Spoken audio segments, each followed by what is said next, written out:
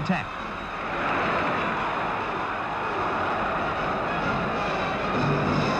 In the ninth minute, Bobby Robson scored.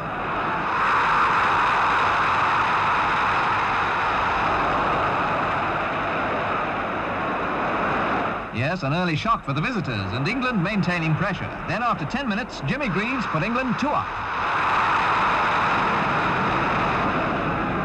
Half-time, a third, and slow motion shows a mistake by Haffey, pounced on by Greaves.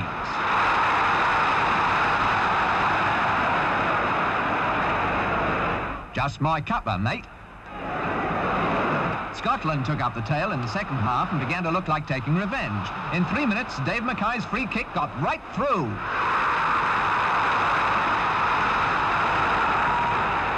Okay, Arjun. Almost at once, a Davy Wilson header made it 2-3.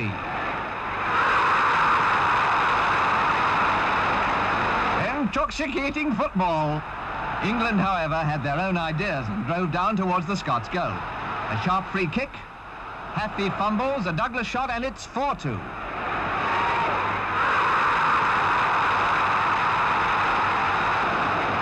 England's fifth came from Bobby Smith. Scotland, still undismayed, now made a great effort. They were rewarded by a goal, credited to Pat Quinn. Then came four English goals in seven minutes, one from Johnny Haynes. Another from Johnny Haynes. Jimmy Greaves gets his third. Duly noted by Scots, not to mention Italians, and Smith again with England's ninth. And we'll no get the fares back.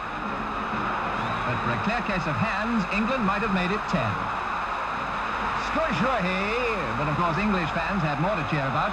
England's victory was overwhelming and well-deserved. 9-3 was England's biggest margin.